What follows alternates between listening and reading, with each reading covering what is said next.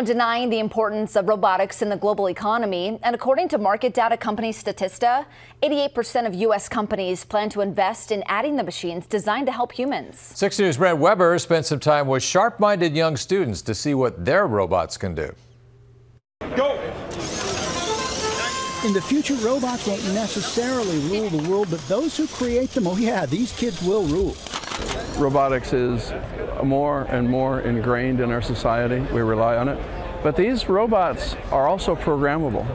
And this is the introduction for many of these kids to become software engineers. Over 500 junior high and high school teams from 44 states, seven countries, are in Council Bluffs this week for the Create Vex Robotics competition.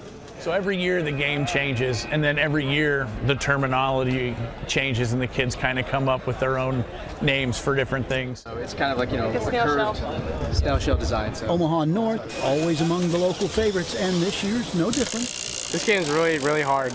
It's really hard. You gotta be extremely precise. My family loves to just tinker, fix things, take stuff apart. You know, that's probably why I'm in robotics, because I just want to learn a bit of everything. Uh, I'm a programmer. Uh, these two kind of help engineer and document, and so does he. And uh, really, I think it just helps us uh, help us uh, find a career path in the future. We have students graduating from this program that are working for Tesla. They work for Google. They work for Amazon. I had a couple kids go through MIT. Um, one of them's a materials engineer, so it's not even a thing we offered. Like he was like, "Yeah, I'm going to go to MIT and be a materials engineer," and I'm like, "What's that?" He goes, "I'm going to make things. Like I'm going to create new stuff.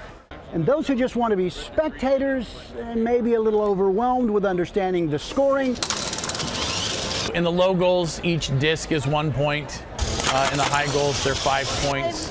10 to 12. You get three points for every field tile you're touching. So you will see at the end, it looks just like uh, silly string bombs just going off and robots just shooting string all over the place. So that's a grand total of uh, 184. Nice. 184? Let's go. It's the best one I've had yet.